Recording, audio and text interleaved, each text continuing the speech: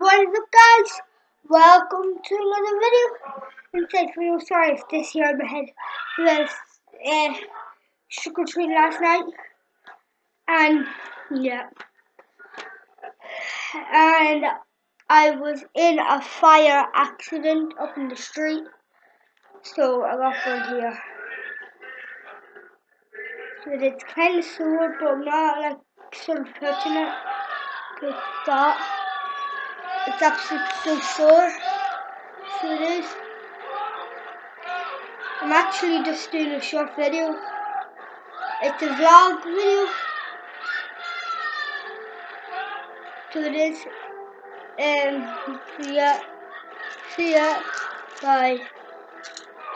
Hmm.